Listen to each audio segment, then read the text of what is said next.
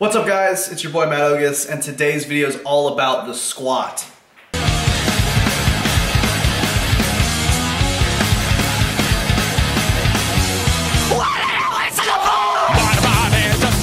We'll be going over the 16 biggest and most common squat mistakes that I see people make all over the place.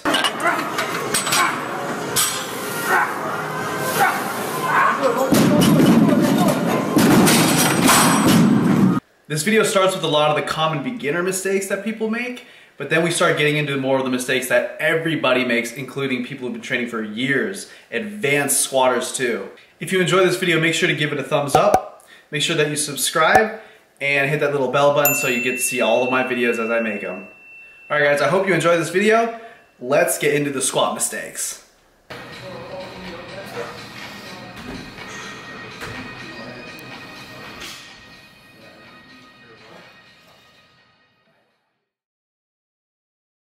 Mistake number one is squatting in these. What are those? Guys, these are shoes that you do not want to squat in, alright? Basketball shoes or shoes that are really comfortable for like walking or long distance. Um, really the puffy heel type shoes that give.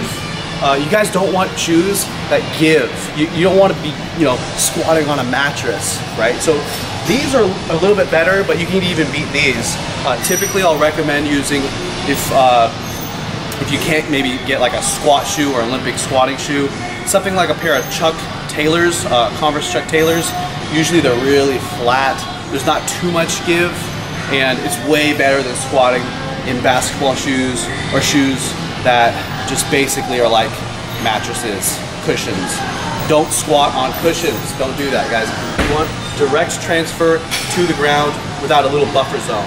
That buffer zone is all bad. So that's mistake number one, squatting in these. The next mistake I see a lot of people make is when they barbell back squat when they really can't. Uh, so essentially I see a lot of people jump up the level of squat progression uh, beyond what they're capable of. So people try to do barbell back squats when they really can't even body weight squat. Uh, there's typically a progression of uh, going from really having limited, zero mobility, zero strength to working your way towards being able to back squat. And I could cover this in a whole entire video. But uh, if you're lacking the strength, for example, the leg strength to be able to squat, then you probably want to build up strength with the leg press. And if you're lacking the mobility, say you can't really get down, um, your, your ankle mobility, so on and so forth, you might want to progress starting off with body weight, high box squats, down to uh, parallel box squats with body weight. Eventually, working your way towards doing counterweighted squats, and then from counterweighted squats to something like goblet squats, and then from goblet squats, perhaps to front squats, front squats to back squats. So uh, a lot of people make the mistake of jumping directly from never squatting ever and then jumping right in doing back squats and uh, their forms all over the place, destroying their knees, and they didn't really progress uh, from you know the body weight high the body weight high box squat. So that's mistake number two. The next mistake is kind of a two for one. I see two mistakes happen here.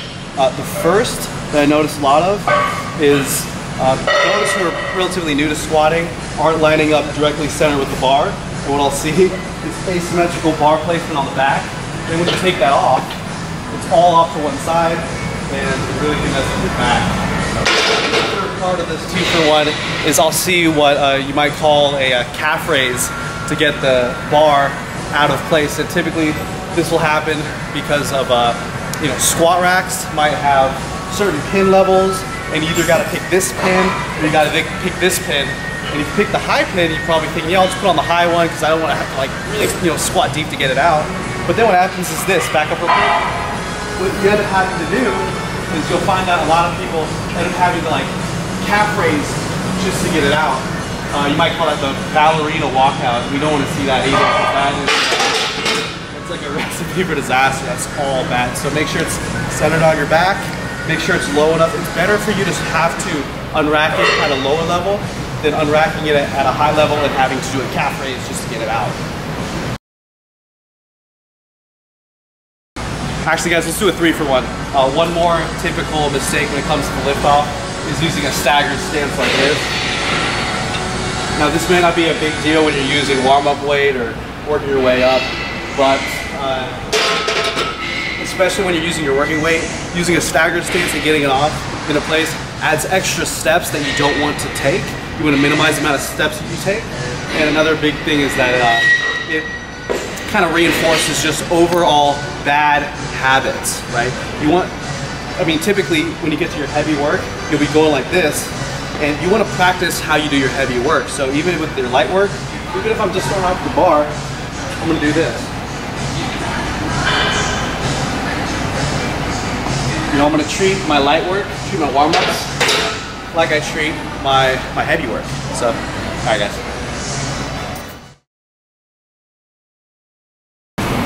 So guys, this next mistake uh, is overarching or overextension of the back. And typically we're talking about super duck position. Now, I know a lot of uh, guys and girls, they're told in straight classes, you know, arch your back. And that's mainly because it's probably safer to be overarched than like this. So you definitely don't want to squat like this, but you also don't want to squat like that. What typically looks like is this. What you end up getting is it's something like a good morning of course. Like this. It's all bad. Okay guys, what I've found too is that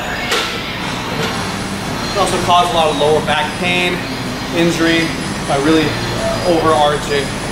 Um, now, arching can, a lot of, can help a lot of people who have, you know, shoulders forward syndrome and uh, back flexion problems uh, from being, you know, at their desk all day. Kind of you know, getting them started with bodyweight squats where you're focusing more on arching the back like this can help them get into a more neutral type position.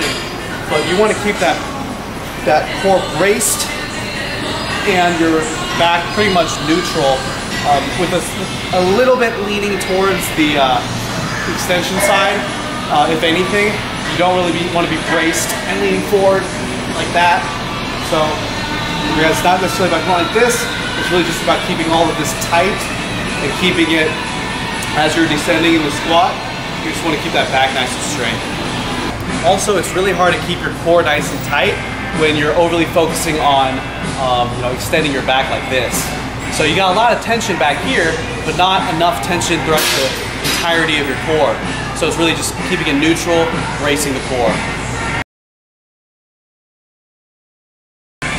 Alright guys, so the next biggest mistake is valgus knee or disengaged hips, caving knees. What that looks like is this, all right? We end up getting is something like this, okay?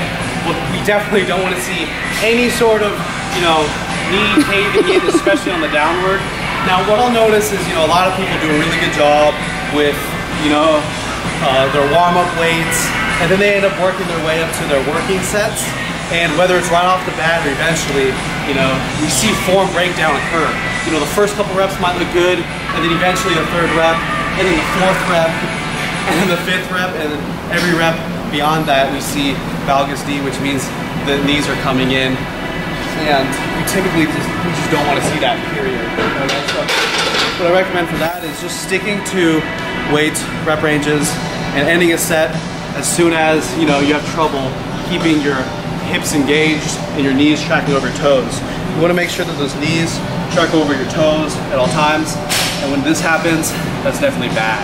We don't want any of that. So if this happens, that's probably where you should end the set, like I said, and stick to weight, reps, and sets that you can complete with good knees tracking over your toes.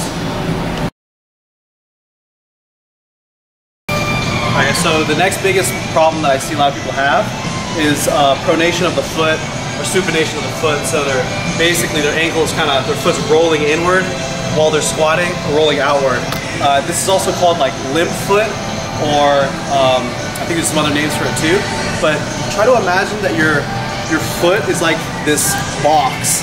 You're trying to get all four, all four corners of that box on the floor. Or better yet, let's just imagine three points of contact in terms of your foot, right?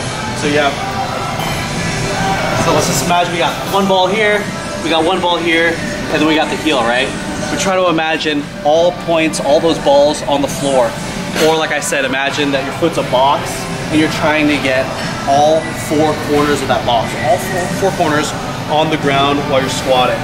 That's gonna help you do, it's gonna help keep your foot from you know, pronating inward, supinating outward, and it's also gonna help keep your heel on the ground, which is also a big problem for a lot of people. Too much of the weight is forward, and their heels come off the ground, which cause a lot of uh, structural instability, knee problems, so on and so forth. Keep all four corners of the box on the ground, guys. Four corners.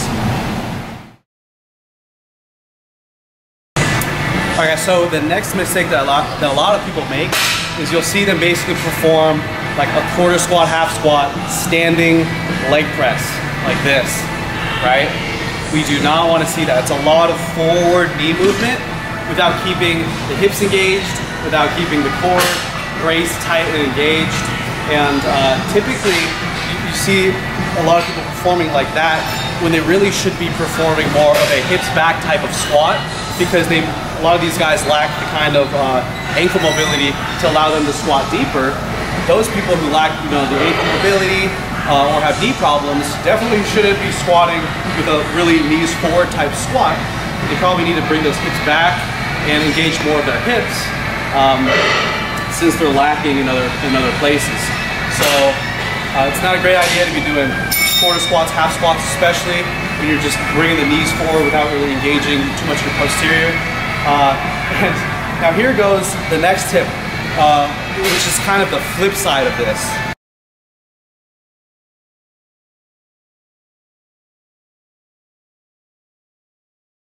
So kind of the reverse of this is another mistake. A lot of people completely avoid, they think that the knees should never pass the toes. And there are so many like uh, fitness instructors, people with certifications, uh, strength coaches who will be like, no, we got to keep those shins vertical, right? Keep that butt back, shins vertical, so on and so forth. That is, it's not a black and white rule that applies to everyone. For example, for myself, if I never let my knees come forward like they like, like check this out. You see this? This feels so good for me, so comfortable, so natural, because everyone has a different uh, body structure, limb length, uh, so on and so forth. So certain people are gonna have a much easier time just squatting straight down like I can. Other people can't do that. Maybe they don't have the ankle mobility or their knees uh, just won't allow them to. They need to bring more of the hips back. Uh, but on the flip side, what this can cause is a lot of people who really should just be sitting more straight down are now sitting really far back and turning good, turning squats into good mornings like that. So there's really a balance. Uh, you, you kind of need to just squat however best suits your body and not just blanket statement yourself thinking, okay, my knees should never pass my toes or, you know, my hips should be super far back. Uh, for most people, you might find you know, a happy medium or maybe you might lean more towards one or the other, but don't automatically rule one of the two out, right? You're not automatically someone who should let their knees pass their toes. You're not automatically someone who, who should uh, sit really far back on your squats. It's gonna depend on you. This next mistake is actually something I'm sure a lot of you guys want me to talk about, and that's butt wink, right? Like, how do I fix my butt wink? Uh, so on and so forth. There's like so many factors when it comes to butt wink. Uh, if you're not sure what butt wink is, I'll demonstrate it. I'll demonstrate it real quick, and it might look something like this. So you see how my butt tucks underneath itself? First, you kind of got to understand why that happens. Okay, guys? So I'm going to show you something real quick. At all times, the bar has to stay above the center of gravity, mid-foot, okay? So what this means is if you go past a certain depth, let's say I was trying to my shins vertical, hips back, watch what happens when I'm keeping about this, about a shoulder stance squat. Okay, so I'm trying to keep my hips back, hips back, hips back, hips back, hips back. At some point, you know, if I'm not like opening my hips enough, if my if my form isn't changed, what happens is when you go deep enough, you'll see the butt wink happen. What's one way to combat that? For example, look what happens when I bring my knees forward. All right, guys, so look, look at this. Butt wink disappears when my knees come forward. So there's, there's certain things that have to happen. If you go deep enough, your knees aren't going forward, you're basically, so the bar can stay in place, uh, but midfoot, center of gravity at all times, you're gonna have a butt wink. So there's a few different, different things you want to have to uh, think about is how low are you going? Uh, your foot stance, opening your hips, keeping it back. Maybe you're going too deep with, with a really wide kind of sumo stance. What if you're avoiding allowing your knees uh, coming forward to the detriment of increasing your butt wink?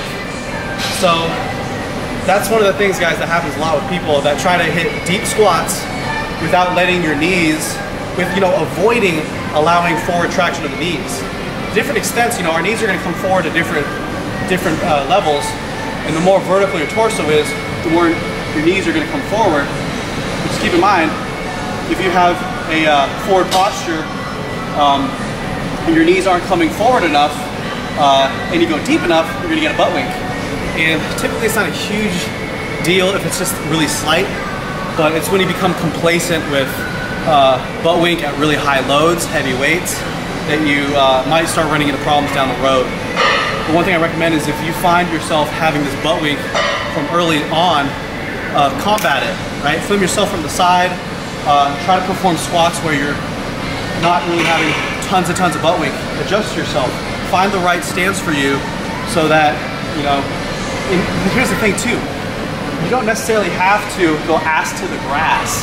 And I would recommend not going ass to the grass, especially if that causes you to do this, right?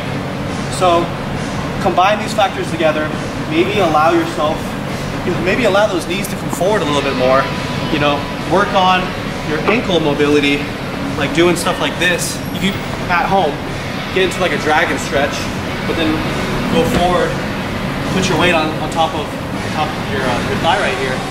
And you know, every once in a while, just stretch out your ankles like this. Get some uh, tendon uh, mobility right here. Increase your ankle mobility so that you'll feel more comfortable, allowing those knees to come forward more. So if you do want to hit that depth that apparently you've been chasing, uh, you'll be able to without having that butt wink. So guys, remember there's biomechanics are what determine whether a butt wink occurs or not, right? So there's things that you play with so that it doesn't happen, so that you minimize it. Uh, definitely don't become complacent with tons of butt wink with heavy weights. Next major mistake that I see people make is they walk right into the gym, throw the 45 plates on, and just start warming up with 135 pounds. And that's definitely better than jumping straight to your working sets. And I sometimes see people, you know, warm up with the bar, but I think we can do even better than that, guys. Uh, typically, I usually like to include at least a bare bones warm up of some sort. It doesn't have to be super complex, but maybe pick at least three to five of your favorite like dynamic warm ups and do that. Here's some of my favorites. Uh, I like to practice some hip hinging. So whether it's you know 10 to 15 reps of that, I like to do a squat to hip hinge like this. Maybe you know 10 to 15 reps of that. I like to do you know some body weight squats, whether it's 8, 10, 12 reps of that. And I usually like to do two sets. Uh, you know, do some leg kicks like this, 8 to 12 reps. And I'll do some front leg kicks like this. When you do a front leg kick, keep the opposite glute contracted. So I'm flexing my right glute while kicking my left leg. Uh, and opposite for my right leg, left glute. You know, anywhere between 8, 10 kicks per side, each type combined with these other little things that I do, uh, might, it's definitely better than jumping straight into, you know, 135. All right, guys? So try out those warm-ups. Don't jump straight to your working weight. And if you can, don't even jump straight to 135. Do a little bit of warming up. Next tip has to do with the position of our elbows, right? So quite often a lot of us when we're learning how to squat for the first time, we get told the cue, you know, keep your elbows really far back. And typically that helps people get into the uh, upper back shelving that they need, if, especially if they're doing a low bar squat, right?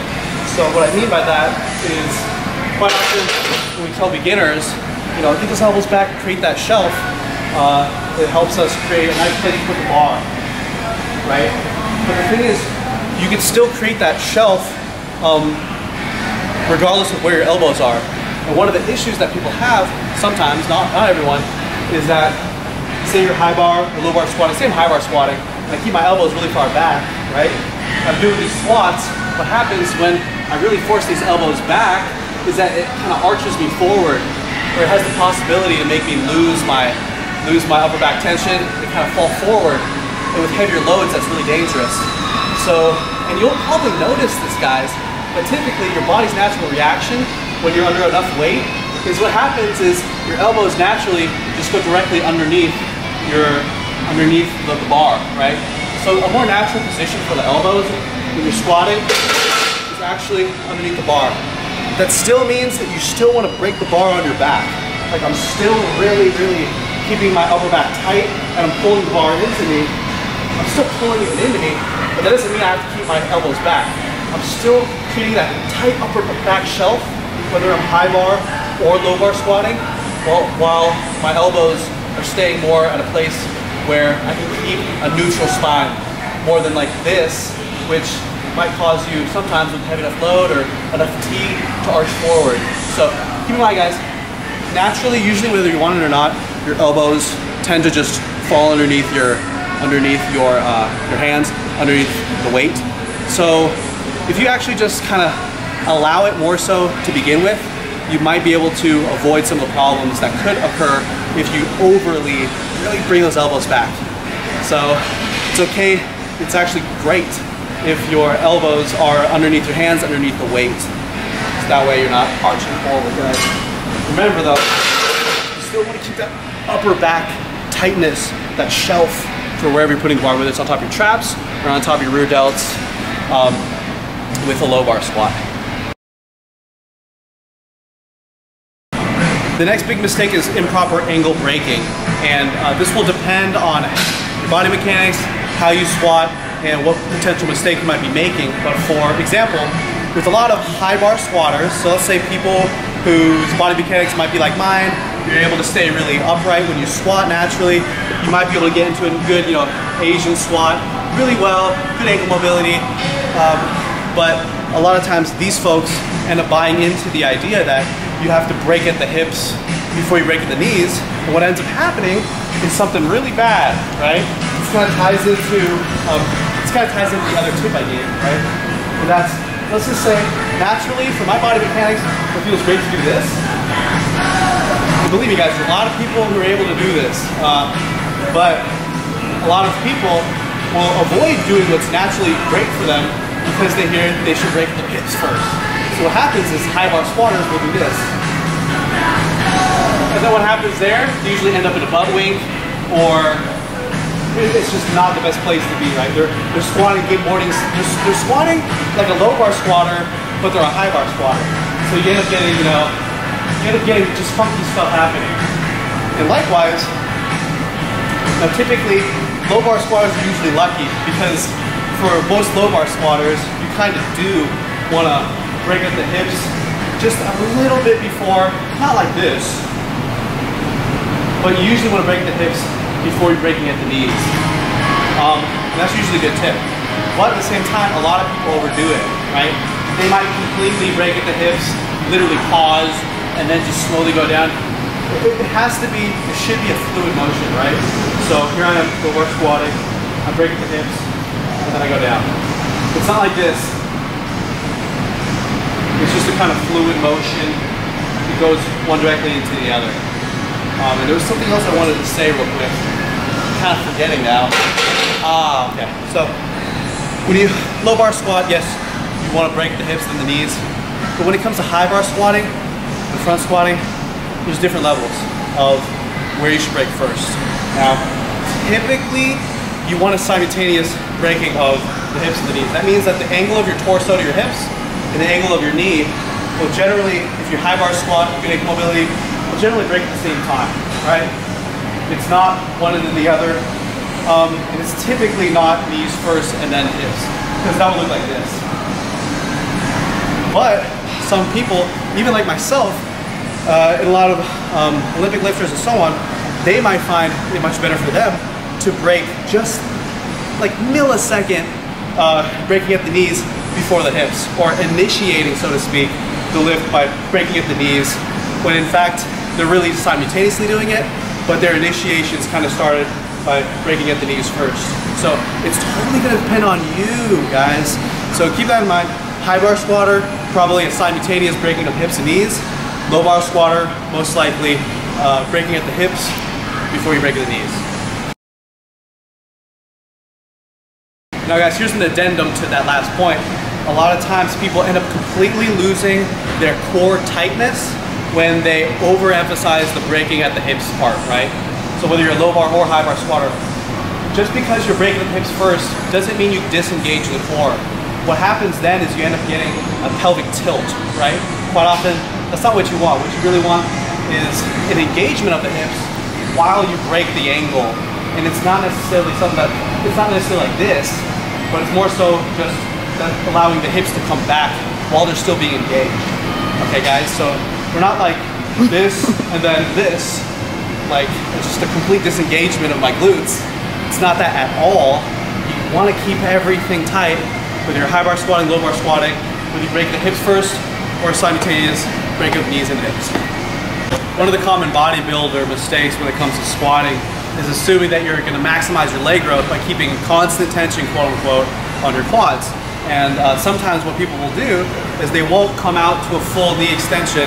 I mean, we're not asking you guys to break your, to like completely lock out your knee 110%, hyperextend it. But you generally want, you know, your knees, your legs to be nice and straight.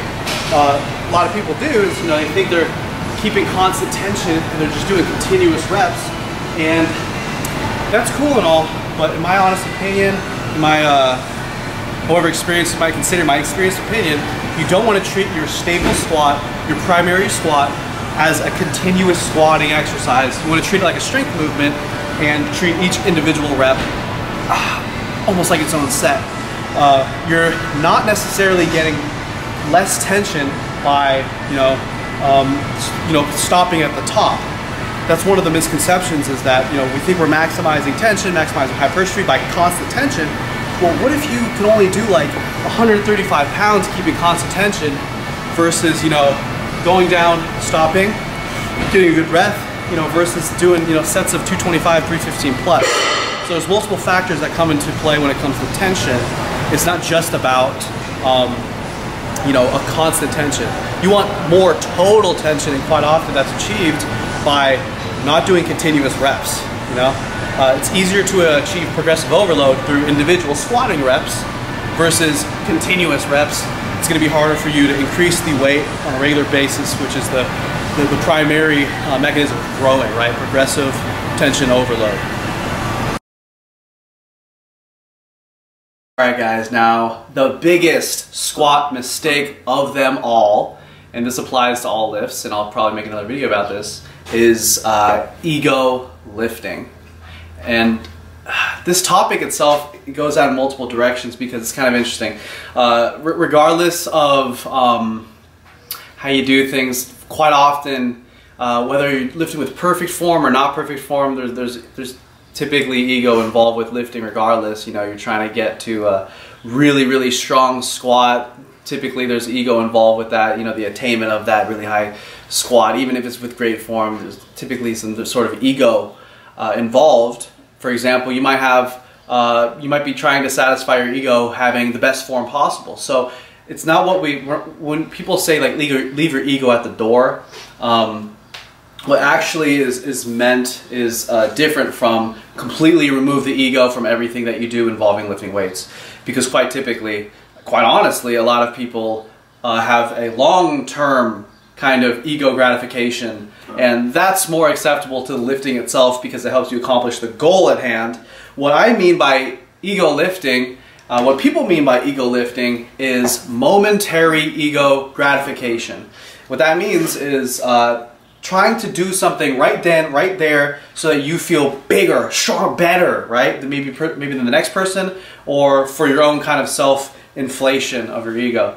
Uh, and this comes in many forms, shapes, and sizes, right guys? It could come in the, the form, typically, uh, what we, the kind of uh, instant ego gratification we try to keep people from doing is um, usually loading up more weight than they can handle, more weight than is necessary uh, to accomplish uh, the goal at hand, and uh, using the kind of form that is probably going to get them hurt or isn't gonna uh, isn't really aligned with the proper goals that they have. So what often this looks like is somebody might have, um, let's just say like hypertrophy goals, right?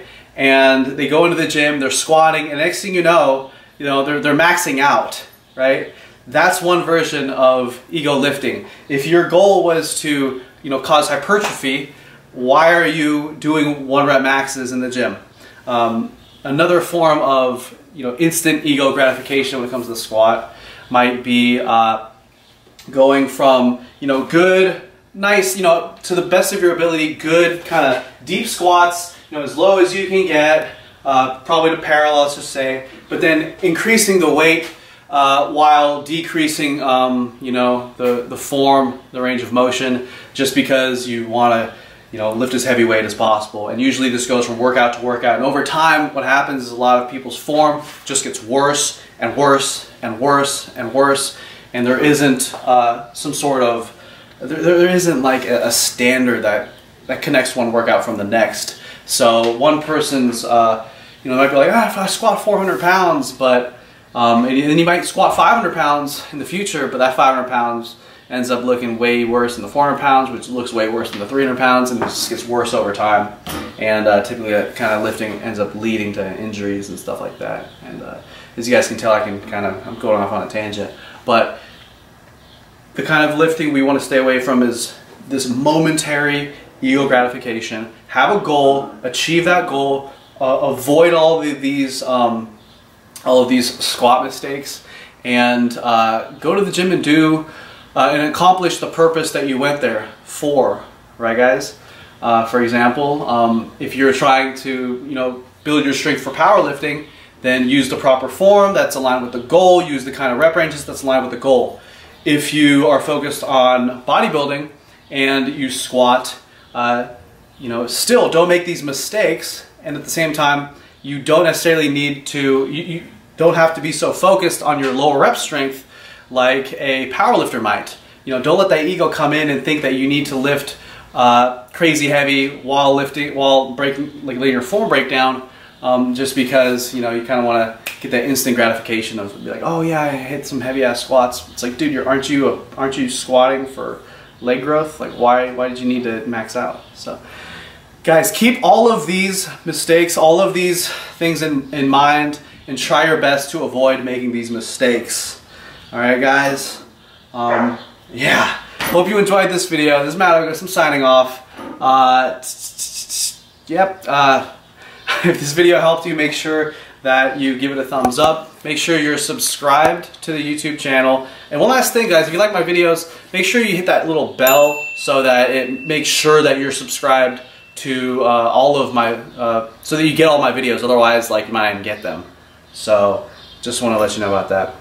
Uh, last but not least, uh, if you guys are um, looking to uh, shred some fat, links in the bio. Uh, if you guys want to learn about nutrition and training, links in the bio. All my programs and stuff, link is in the bio. So, woo! That's it, guys. See you in the next video.